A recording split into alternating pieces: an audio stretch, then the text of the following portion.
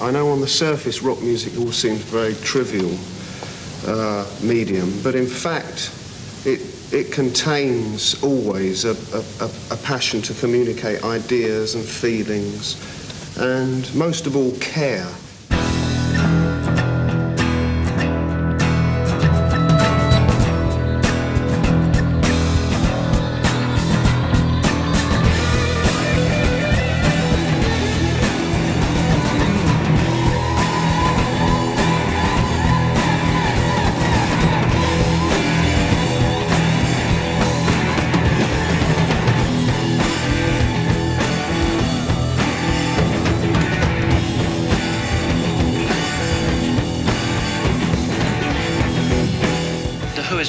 Different to everybody. To, to some people, it's uh, Tommy.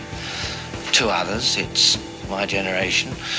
To others, it's Who Sell Out. To others, it's uh, a band that uh, I like to go and see on stage, but I wouldn't buy their records. To some, it's I, you know, I like their records, but you know, I think they're just a load of big mouth shafts on stage. I think the, the band is many faceted, faceted, faceted, fat. I think a lot of it really came from the way R Roger led his life. You know, he was very, very challenging guy. Very, I wouldn't say, you know, like just freely aggressive, but, you know, he knew what he wanted and he knew how to get it. And in a sense, he taught me how to fight for what I wanted. I don't think people would believe what Pete is, really. Just what a, what a gentleman Pete is. And, and he's charming. He has his moods, you know, where he can be a right bitch the same as all of us. And perhaps in Pete's case, they're a bit more exaggerated. He's larger than life, um, which makes him what he is. Which makes him one of the, I think, one of the biggest talents uh, that we've got in, in rock and roll today. Keith is unbelievable. He lives a lifetime a day. He's, he's the most eccentric person, the most generous, also probably the most selfish. He's the most loving, the most hateful. he, I mean, he really is. He's got his total opposites. He can have you in tears of laughter one minute and then, you know, breaking your heart the next. John, you know, John appears very, very quiet and subdued, but he, he's like he's like a steamroller once he gets going. I mean, it's that's why we call him the ox. I can't keep up with him when when he's clubbing. I mean, it's days. I think if any of us realised what the little spark of, of magic is that makes The Who The Who instead of four musicians, if I knew, I could most likely create huge bands everywhere. None of us can really understand why people queue up in thousands to buy tickets to a concert. It'd be really nice to know what made The Who tick, but I don't think anybody can possibly, possibly say. There's been a lot of talk about The Who being like 50% music and 50% circus. Well, you know, and I would agree with that actually. Although I still believe that the 50% circus is very, very necessary.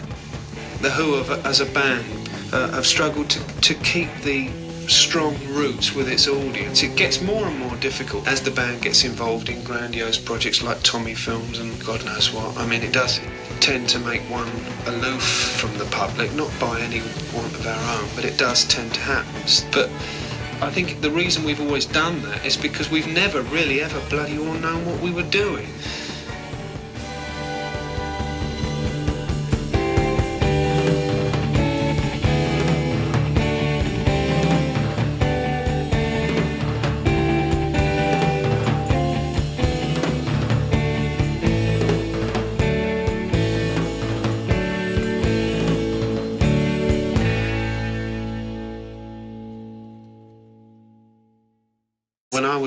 11 years old, I just knew that as soon as I got a guitar and played my first out of tune chord, I knew I was going to be, you know, the biggest thing on the rock and roll stage.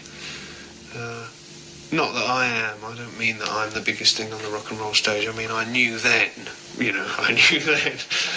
I first met Pete when I was about 12 years old at school eventually, I suppose we came to learn that we, we, were both musicians. He played the banjo and I played the trumpet. And I formed like a Dixieland band in which there were three banjo players. So Pete decided that uh, he was going to take up the guitar. I carried on playing the trumpet for about a year, and then I decided that the trumpet wasn't really loud enough.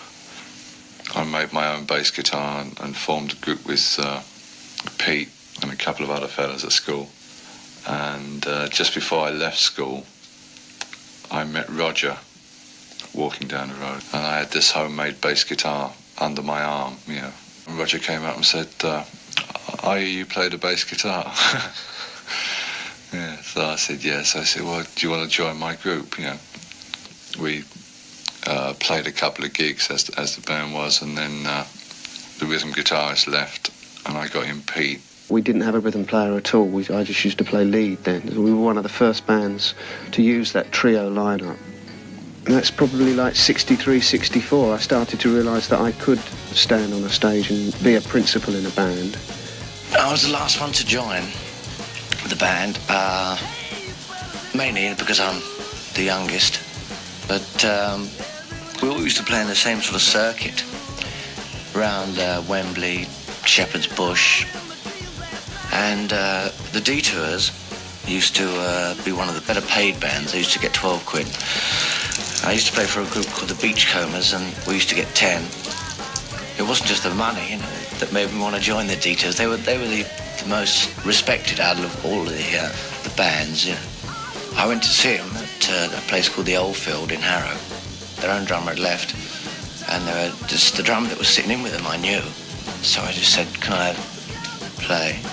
So they said, "Well, I don't know, can you?" So I got up and bashed about, and I, you know, I just bashed about, and I've been doing the same ever since. They just, you know, never, never asked me to leave. What can you say? It was like every every chick's dream drummer. he really was. He was like uh, he was the glamour in the group. Then he went mad.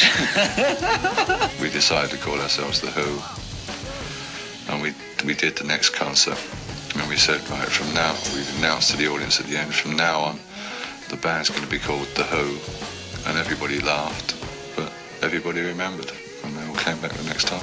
Originally, we were a, a, an R&B band in the tradition of bands like uh, the Stones and the Yardbirds and people like that. Uh, and it was only when Pete Meaden came along, who was one of our early early influences. He was introduced by our very first manager. It was only when Pete Meaden came along that we started to really realise the full depth of the mod movement. And me in particular, I think, I was really sort of incredibly influenced by it and in fact it became a, a very solid part of it, you know.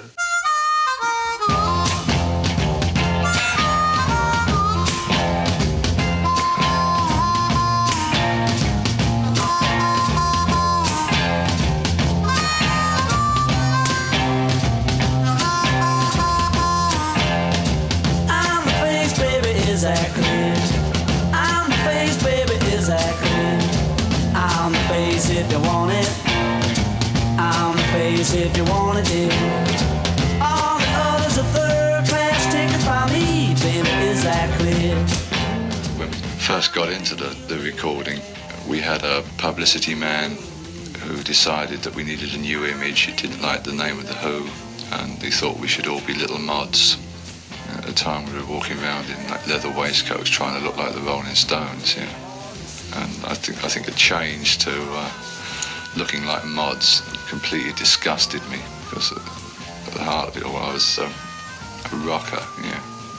I, I got no idea why they, they didn't like the name of the Who, but uh, I hated the name The High Numbers anyway. And we made the record I Am the Face, and, and we had the new image to go with it. And I remember the first concert we ever did. Well, it was the same night as we got our new set of clothes and new haircuts. I walked through a puddle in my boxing boots, and the soles fell off.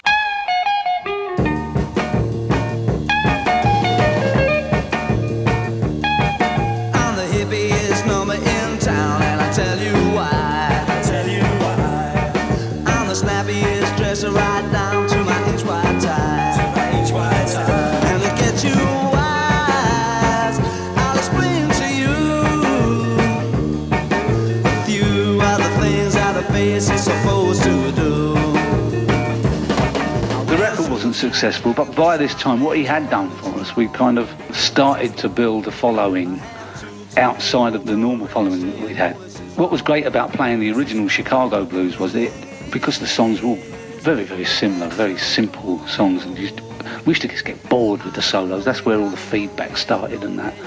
But of course, once you, once you got to start to get into James Brown, then an awful lot of aggression started to creep in. And that's where the smashing up started. And of course, we it all came at the same time as us becoming mods. So it was all kind of uh, organic for that period. And of course, it attracted a, a huge following of people that then started to, to copy the way we were in late 64 when we got offered a record contract and they said, listen, everybody writes their own songs these days. Everybody in the band looked around for somebody that could write and I, I said, I'm willing to have a bash. And I tried and the first thing that I wrote was a hit.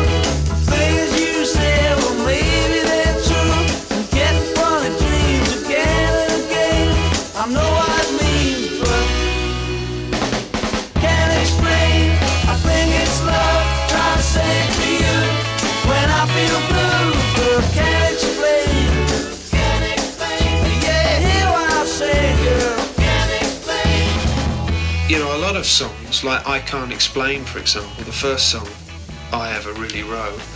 Uh, uh, songs like that, a lot of people I see, you know, Who fans and Who, Who biographers breaking it down into what it really means. I mean, when I wrote it, it was about a, a guy that who couldn't explain his love for his girlfriend, you know, and that was really you know, that was really what it was all about. It later on became a song about a guy who couldn't explain what he meant because he was pulled out of his brain, you know.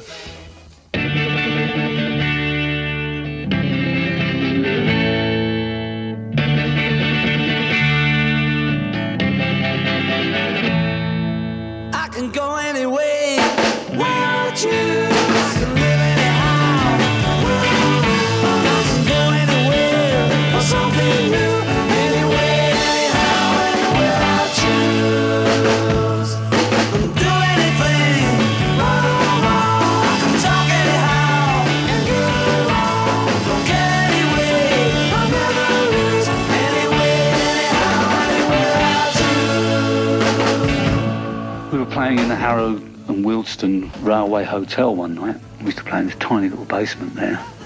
And two guys came in and they were introduced as big film producers. and it was Kit Lambert and Chris Stamp. And Chris Stamp was the brother of Terence Stamp, the actor. And Kit Lambert was the son of Constant Lambert, very famous English composer. Kit was, was Oxford educated, very, very grand and uh, Chris Stamp was like this henchman of one of the Kray brothers, East End Barra boy, you know. So it was an incredible mix. We thought, well, they're as quirky as we are. And um, they had their ideas. They wanted to make a film. That, and Kit always described it as he said, we went into this basement, he said, and there it was, he said, this incredible noise, as he called it. They became like the fifth and sixth member of the band. I mean, there's no doubt that The Who in those days was was far more than four people on the stage. It was it, Kit and Chris were equally as important.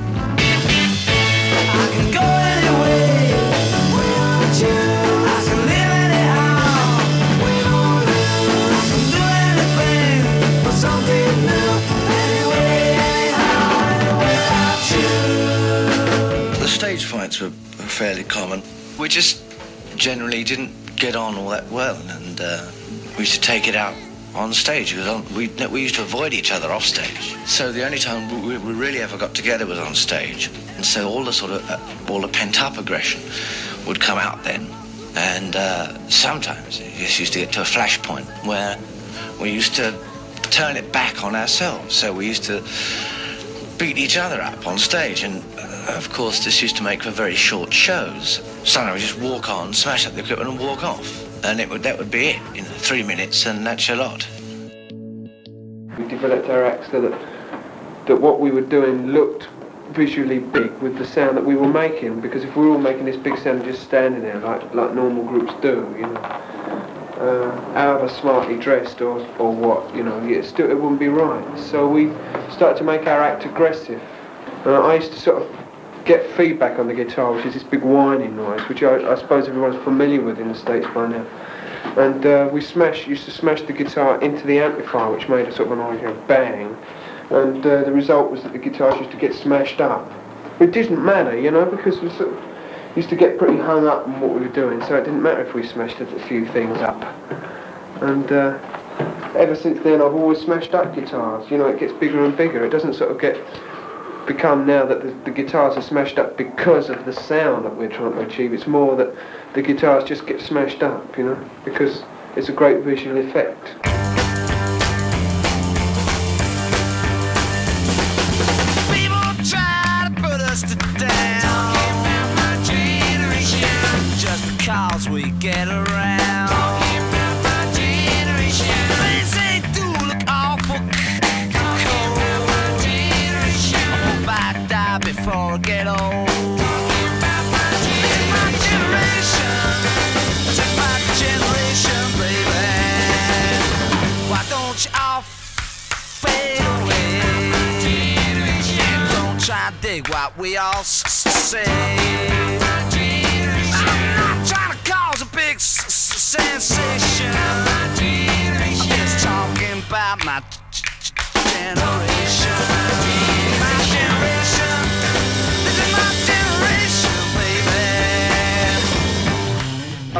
With, with you know, with, with hatred of the older generation, I must admit, but it can mean so many things. That's the beauty of the line. Now I've just suddenly realised you don't feel any different. Everybody else thinks you're old. but it is, old is in the mind. I mean, so, I've met so many people that, that are 16 and they're old, and I've met 80 year olds who are 16 in their mind, and it's that that's important. It's the, that spirit. It came from the studio. I mean, it was it was uh, reflective of a kid on Purple Hearts on Speed. I mean, both Pete and I do stutter. Um, it is a fact. So, uh, and I suppose Kit picked up on that and said, right, put it into the song. And it was amazing because when Generation started out, it was more like a Bo Diddley song. It had a kind of Bo Diddley beat to it. People tried to put us to down, without the down, but but it was that rhythm, and Keith could never play that rhythm very well, so he slammed it on the on beat, and the rest is history.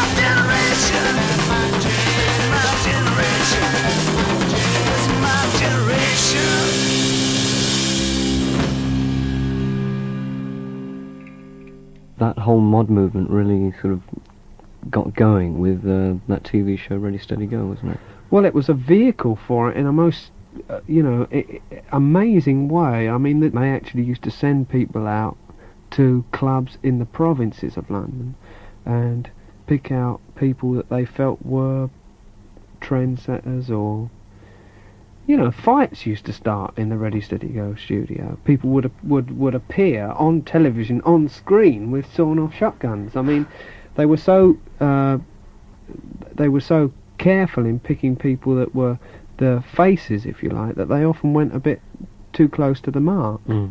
and they got people that really cared about their image. I don't mind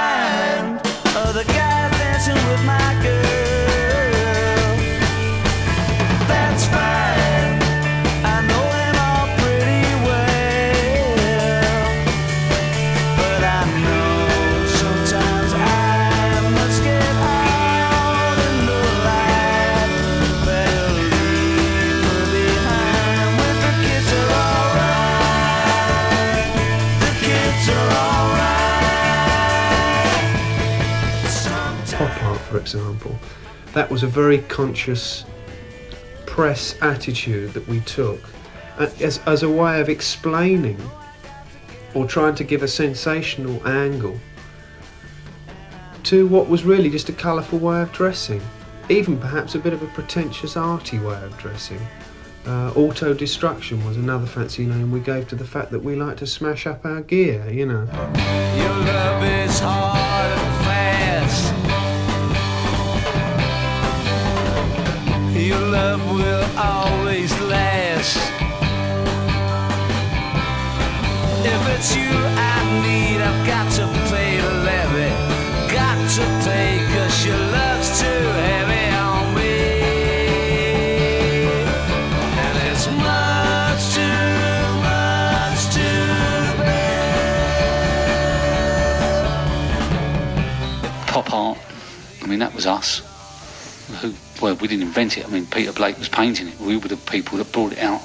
We were the first people to put Union Jacks on things. I mean, we even had to have advice from lawyers whether we could get away with this, you know. And, and the answer from them was, no, you won't get away with it. You'll go to jail. We thought, well, that'd be good. get some publicity. Who arrested for making jacket out of the Queen's flag, you know. so, I mean, that, that was the kind of way we thought in those days. So we went through all those periods, which weren't exactly mod. I mean, Union Jack jackets, then the op art and pop art thing. It was kind of a the 60s culture, but it wasn't exactly mod. The mod thing really only was from 63, 64, 65, and it popped, I think.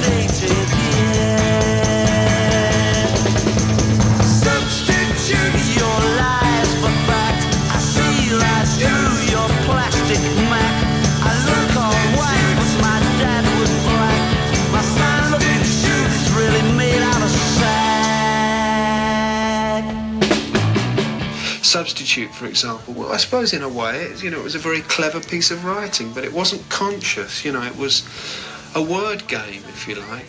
I don't, I don't remember playing substitute at all. I'm just too stoned, and um, when it came out, I accused the other members of the group of getting another drummer in.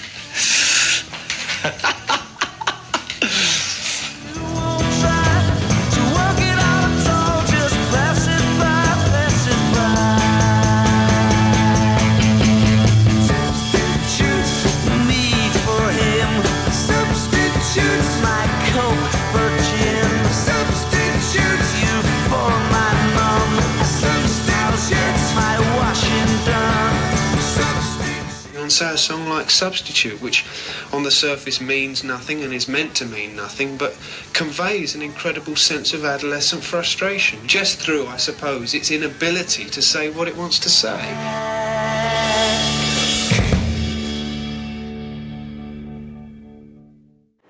What's been happening with your records in America then? Very funny, you know. Uh, they always seem to get to about 75 in the charts and they sort of fade out. Don't like the cut of your jib. That's probably what it is. I don't- you know, we get some of the best fan letters ever from America, you know. We get quite a few, and uh, I just can't understand it. The, the best one we got was the LP. I think was the biggest sort of success. You know. But, albums. can't explain. Albums. uh, Albums. They're called Roger in America. Oh, Al- albums, albums. Can't explain. Got to quite high, but that was about a year ago, you know. Detroit. So we were all rather puzzled at what the Americans like. The Who. Now imagine that many of you... I see. Thank you, gentlemen. But on now to the chart-topping number here in Britain by The Who, I'm a Boy. Now, Pete, the, um, the critics have taken a very serious-minded, analytical approach to this song. Is it serious?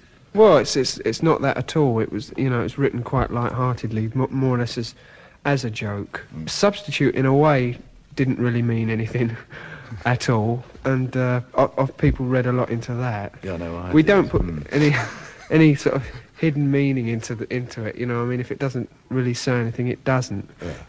And Um, I'm a boy just means you're a boy. Yeah. Okay, fine. Well, I think let's hear the latest meaningless. Oh, no, I don't mean meaningless, do I? Song that It's isn't. light-hearted. Yes, Light-hearted. New approach. I'm a boy. Yeah. One girl's called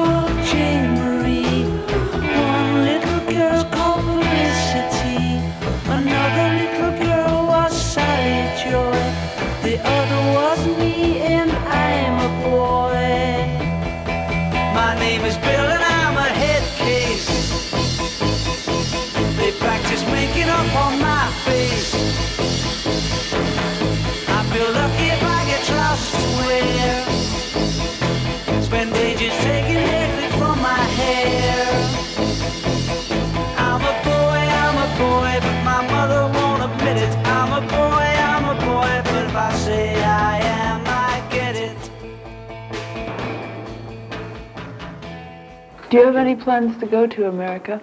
Well, we've got plans, but um, whether they'll be fulfilled yet, you know, we've got to wait and see if the record does anything. Where especially in the States would you like to visit? California, I think. Why California? And there's a good recording studio over there, Western. And the surfing and the yacht rods. The, oh, yeah, surfing and the yacht rods and the girls over there. What do you think about recording in America? What does it appeal to you? Well, it's because it's different from recording here, really. Sunnier. Better studio. You know, I'm just, I'm not worried about the studios or the sound. but when you go outside, you can get a tan, which is more than you can get here.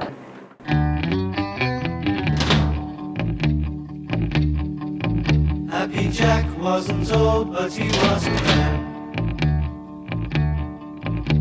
He lived in the sand at the Isle of Man. The kids would all sing, he would take wrong key. So they rode on his head in the furry donkey.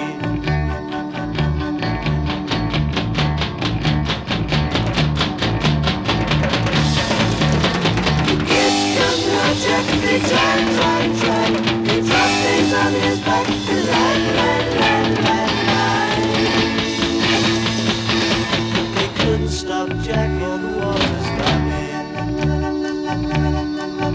And they couldn't prevent Jack group was, was usually breaking up about once every two weeks or, or in between tours. It was it was always like it was mainly I think maybe me and Keith that were always going to sort of walk off. You know. And after one tour, we found out that we were go- going to go home with far less than we anticipated. We were playing in a lot of different places, and we'd, we'd been travelling by bus, and we found out that, that we'd be coming home with less money than we could have earned in England in a week. You know. uh, at that stage, I thought, well, it's, it, I think it's about time to, to like pack up. And Keith and I decided to leave. We sat down in a, a club and talked about, you know, what we were going to call our new group that we were going to form. And we, I'd come up with the name Led Zeppelin and the album cover and everything. Know. And uh, gradually, as we became more successful, the fight started to dwindle out. Um, the fight still went on, like verbally, and in a way, they still they still do. Um, as long as the, the, the arguments don't get violent, I think it's it's healthy.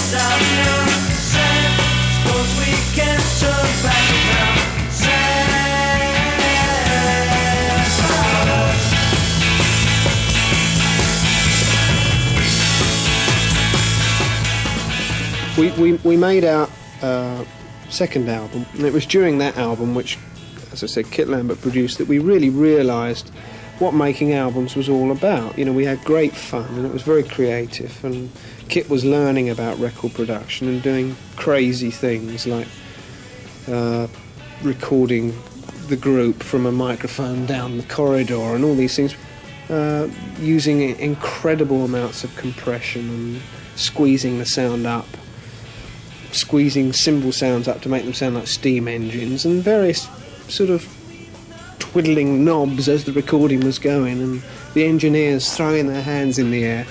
It's platinum coated knobs, mate, you can't do that. And all this was going on in the studio, but unfortunately, we had 10 minutes on the album to fill when we'd finished. And so Kit turned around to me and said, I think you should write something linear, something with continuity, perhaps a 10 minute song.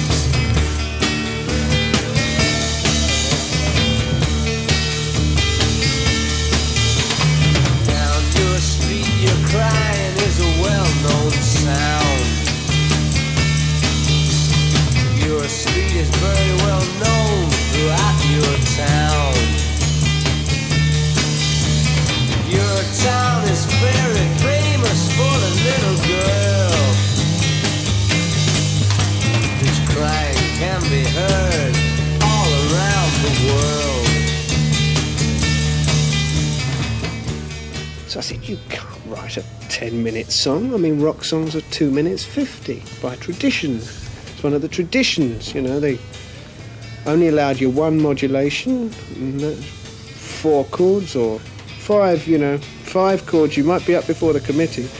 But, you know, that was basically it. 10 minutes is ridiculous. So he said, Well, listen, if you can't write a 10 minute song, write a 10 minute story made up of 2 minute 50 songs, right, which I did. And that was the mini opera, it was called.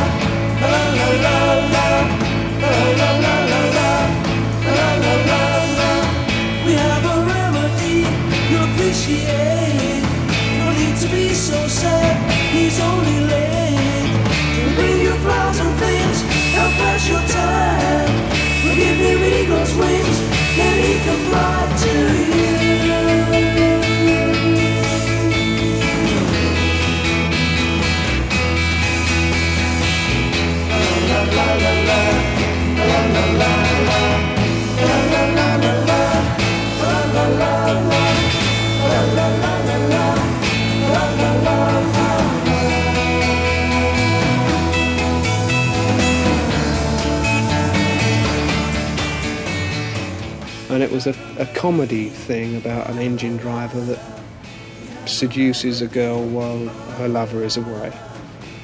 And when the lover returns, he forgives them. And it ends up with this sort of terrible sort of Italian operatic takeoff at the end where we all sing, You are forgiven, forgiven, forgiven, forgiven, forgiven, forgiven. You are forgiven.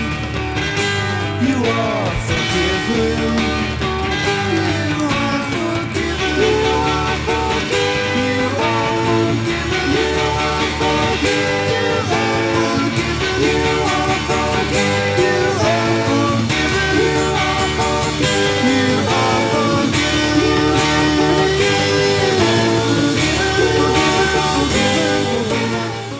And it was a spoof, but uh, the Beatles uh, were impressed and went on to do Sergeant Pepper. I'm not saying it was a, a direct influence. I mean, obviously things were going in that direction. But Paul McCartney, you know, actually said, you know, great new album, that mini opera, fantastic, great idea. You know, something's going to come of that. That was his words.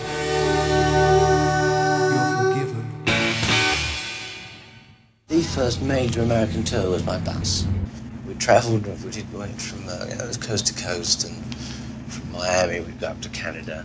It was pretty awful. Um, we used New York as a springboard. We used to play for Murray the K. We used to do five shows a day there, and we had uh, three minutes to do our show.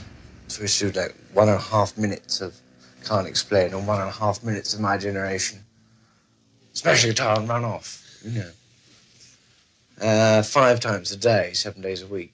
Oh yeah, I mean two songs. I mean, how can you ever put the Who on stage and say right, play two songs and work up, work the audience into a frenzy and smash all your gear? I used to wake up in the morning. I used to feel so bad.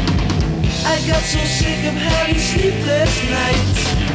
I went and told my dad. He said, son, now here's some little something. And stuck them on my wall. And now my nights seem quite so lonely. In fact, I, I don't feel bad at all. I don't feel bad at all. Pictures of Lily made my life so wonderful. Pictures of Lily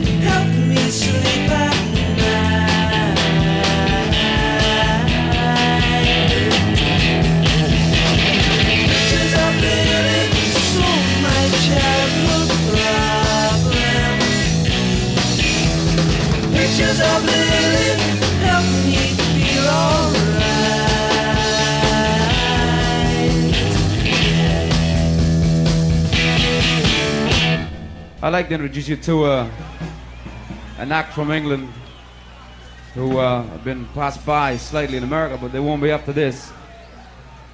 And this is uh, a group that will destroy you completely in more way than one. This is The Who, this one.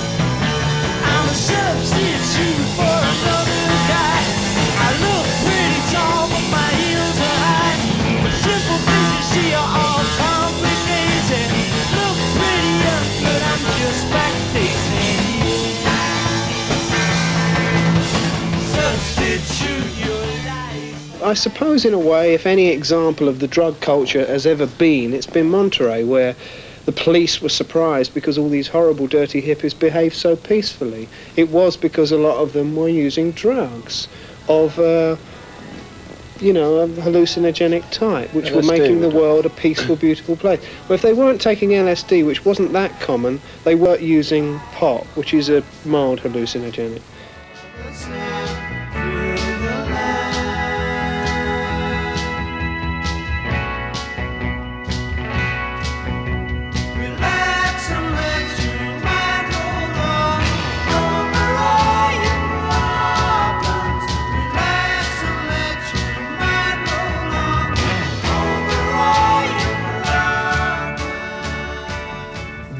Jimmy was doing was sublimely, um, it was an epiphany. And I couldn't deal with the idea that at this critical concert, we might go on after him. In other words, he would be down the bill to The Who. I felt he had to be up the bill, he had to be higher on the bill than The Who. And he said to me, from his insecurity, that's not what you really mean. What you really mean is you don't want me to go on first. You want to be first up there with the guitar smashing. So I said, Jimmy, I swear to you that's not what it's about. And Jimmy started to play. He stood on a chair in front of me and he started to play this incredible guitar, playing at me like that. You know, don't fuck with me, you little shit. And then he snapped out of it and he put the guitar down and, and, and he said, okay, let's toss a coin. So we tossed a coin and we got to go on first. People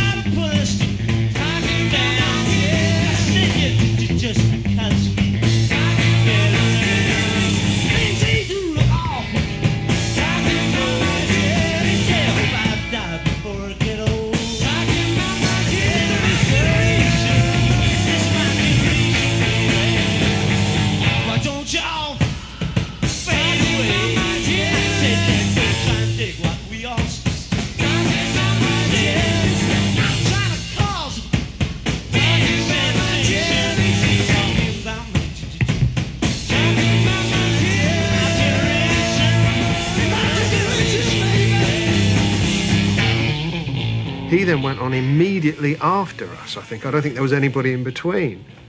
So I went out to sit with Mama Cass to watch Jimmy. And as he started doing the stuff with his guitar, she turned around to me. She said, she said to me, "He's stealing your act." And I said, "I said no, he's not stealing my act. He's doing my act."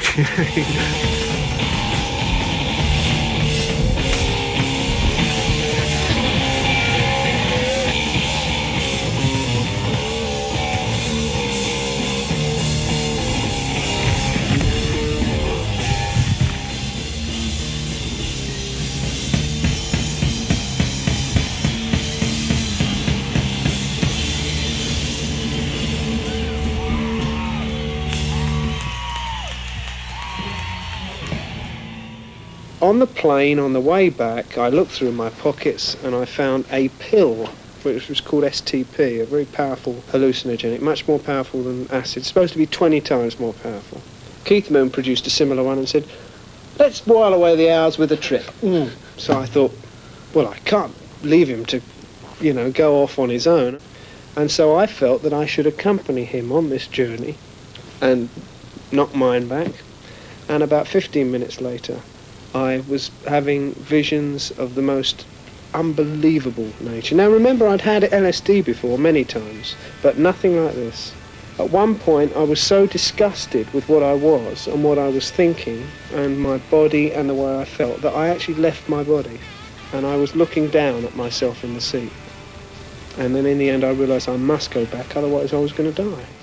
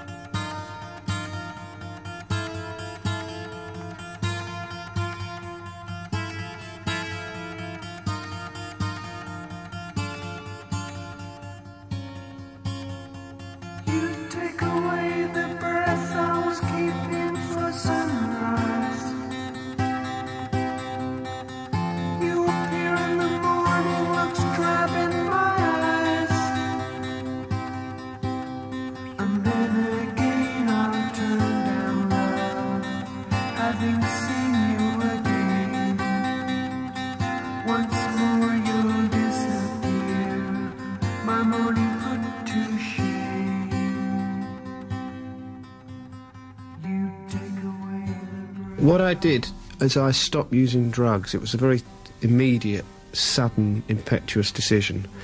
I just decided after the Monterey Pop Festival, which was in 67, that was the first big festival we played over there, that I'd had enough of it. I mean, I looked at all these hippies walking around in California and I thought, you know, this has got nothing to do with Shepherd's Bush, you know. I've had enough of it.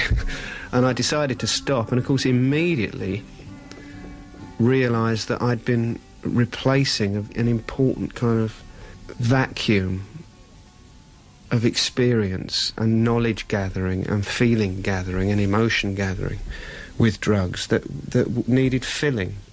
And I started to read and search around and I started to look fairly light-heartedly at, at certain sort of mystical things. And I, I got into Mayababa very, very tentatively and carefully. and it wasn't like gung-ho, bang, this is it. It was quite a slow procedure. But it was really as a result of that, I think.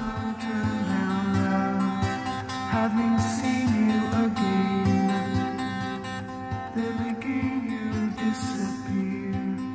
My morning put to shame. You know, you guys are really too much, and I want to introduce you to the, the guys individually in the Who because you never get to know their names. You know them as the Who. Everybody says Who, and you say, you know, what's your so what's your name? Pete. Pete Townsend, yeah. Pete, and where are you from, Pete? London. From London? Yeah. London where? London, England. Hey, where'd you learn to play? You know, that's a wild style of uh, playing. Where'd you learn to play the guitar like that? That was bowling. Bowling. bowling. Yeah, I could tell. Now we move right along. Yeah. Uh, right over, here, right over here, and you're um, who? John. You're John. John. And you're and you- you're from London, too. from London too. Yeah. And uh, you must be Uh, Roger. I must be. Uh, who are you? Yeah. You're Roger? I'm Roger. And where are you from? Uh, Oz. Roger. Here's Roger from Oz. And over here, the guy plays the sloppy drums. Follow the yellow brick road. What's your name? Keith. Keith? My friends call me Keith. You can call me John. Okay, John. I'm gonna. Yeah. I just soon call you Roger. Uh, Roger from Oz. What's the What's the next song you're gonna do? My generation. Your generation. Yeah. Well, I can really identify with that because I really identify with these guys. I dig them. And this is a. you know, you got sloppy stage hands around there. okay, that's enough. They're gonna sing My Generation. This song really goes, and you're gonna be surprised what happens because this is excitement. And hit it. My Generation. People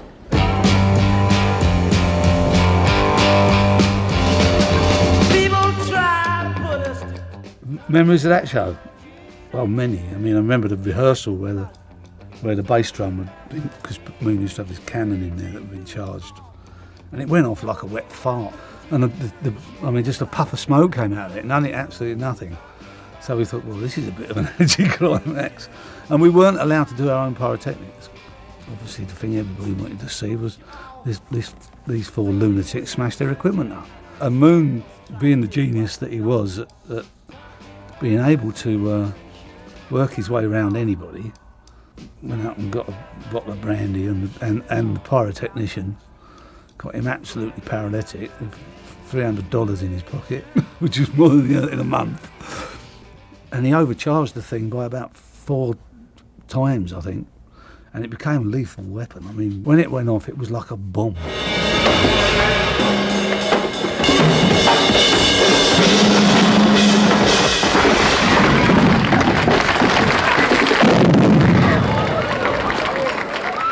The thing that I always remember that on the same show there was Mickey Rooney and Bette Davis. So at the side of the stage when this happened, Bette Davis immediately passed out, and fell flat, flat on her ass. Me out a heart attack. And Mickey Rooney was jumping up and down screaming for more. So it's kind of it's such a weird image. Well, in Britain, I'll give you a bit of history. The Who were a big singles band. We used to put out a single about once a week. We had, I think, 12 hits. We were never a number one act, The Who. There was a slight sort of subculture thing going on with The Who. But we had hits. You know, we, we, the first record we made was a hit. Can't Explain, Anyway, Anyhow, Anywhere, My Generation, Substitute, oh, I'm a Boy, Pictures of Lily. Straight up they went. Finally, I wrote the song which I felt was one of the best songs I'd ever written. It was called I Can See for Miles. And it was quite a fiery Wagnerian piece, but I, I spent a lot of time working on the vocal harmonies and structuring it. We put it out, it didn't sell a copy. I can see for miles and miles and miles and miles and miles. Oh yeah. If you think that I don't about the little tricks you play and never see you when deliberately you put things in my way. Well, here's a poke at you. You're gonna choke on it too. You're gonna lose that smile because all the while I could see for miles and miles. I could see for miles and miles. I could see for miles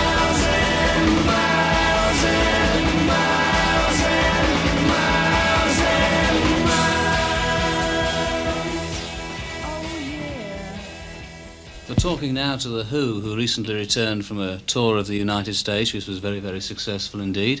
Uh, also, you've got a new LP coming out in England very shortly, and it'll be released in the continent sometime around Christmas. Can you tell us a little bit about it? Because it's a very unusual concept. Uh, well, the, the main thing is is that the, the idea is uh, that the LP will be surrounded by and aided and abetted by a series of commercials. This was sparked off by the fact that we recorded a commercial uh, instrumental with with just a few voices over the top saying a slogan for the Coca-Cola company.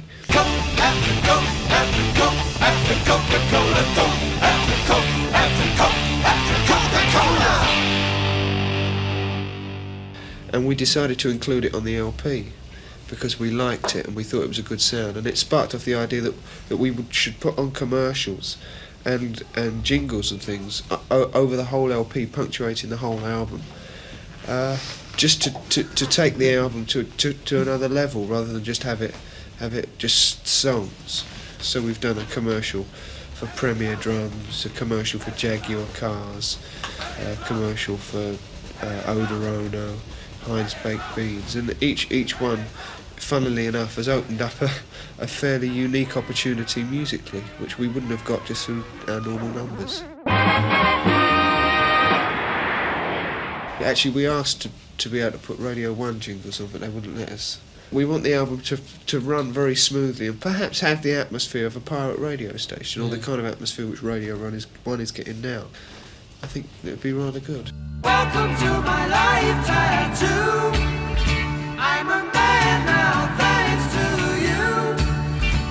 I expect I'll regret you, but the skin rock man won't get you. You'll be there when I die.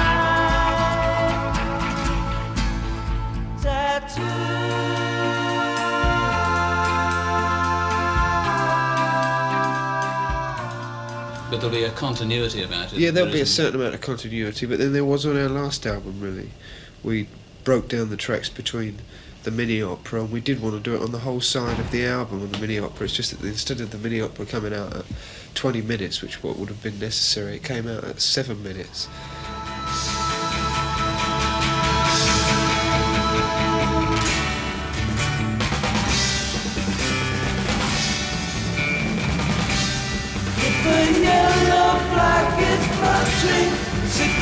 Held against the wall, then you know my courage is ended, and you'll send your boy.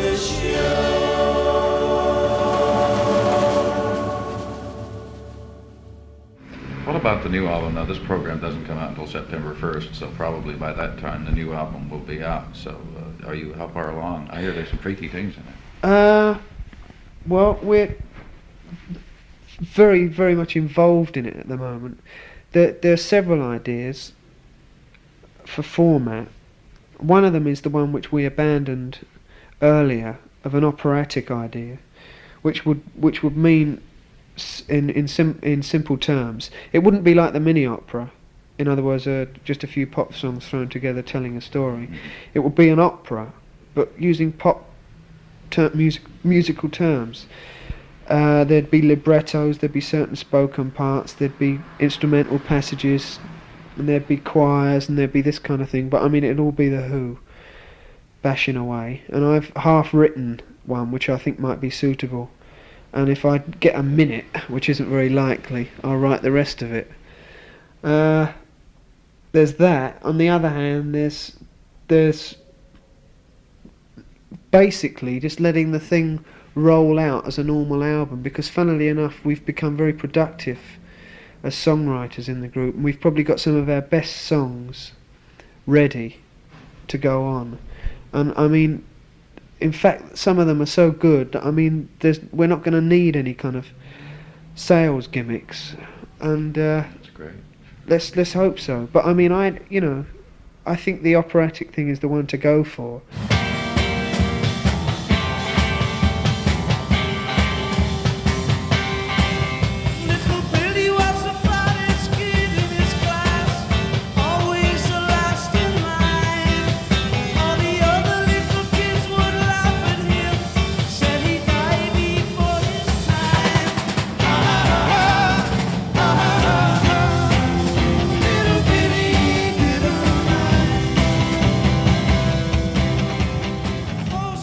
to go and play at the Fillmore, you play to the best possible audience, the best possible audience, the, the nicest people, the most considerate audience, the best possible microphone system, the best possible acoustics. Everything has been looked after. You know, every everyone goes out of their way, and it's always packed. You know, for whatever artist. You know, it's as though they make sure that there's an audience there for everyone. I don't know. It's it's a great place.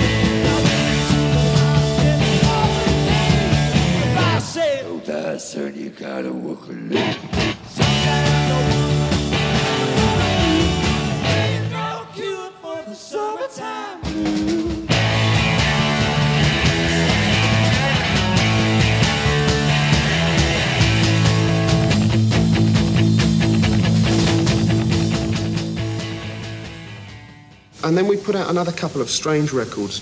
One about dog racing called Dogs, because I used to like to go to White City and have a flatter. The first time we met, you were a kennel maid.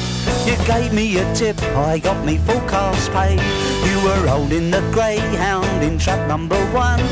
Your white coat was shining in the afternoon sun.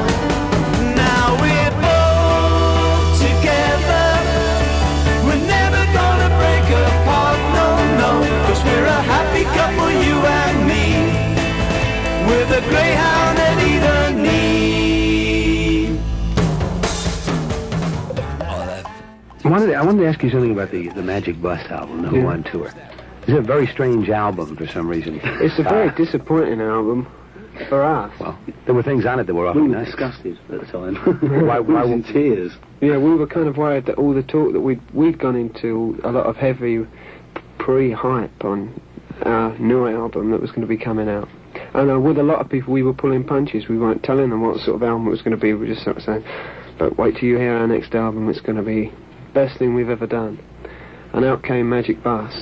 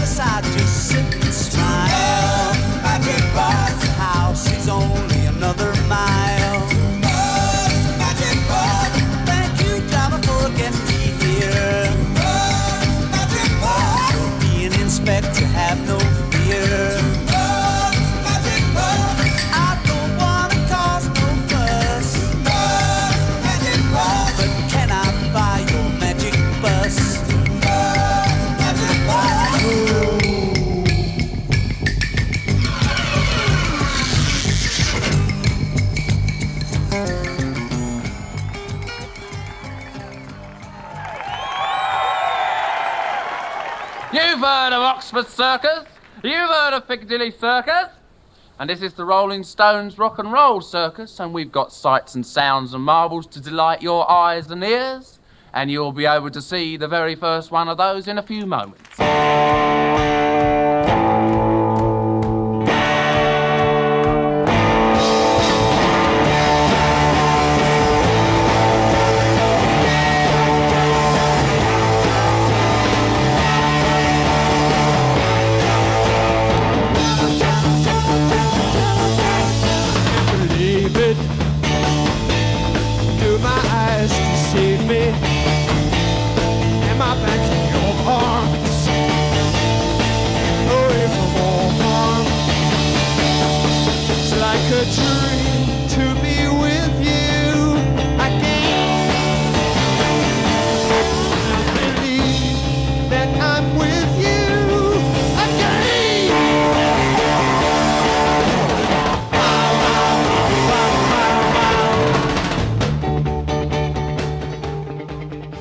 So I thought, this is it. I'm going to have a last ditch attempt. Like Keith, you know, if they want me to pour petrol over myself and set myself alight, let's go for broke. So I thought something really pompous, crazy, ridiculous. A rock opera. About a deaf, dumb, and blind boy who gets given drugs by an acid queen, raped by his own uncle, uh, you know, and, and so on and so forth. And, the rest and then becomes the Messiah. That'll make money.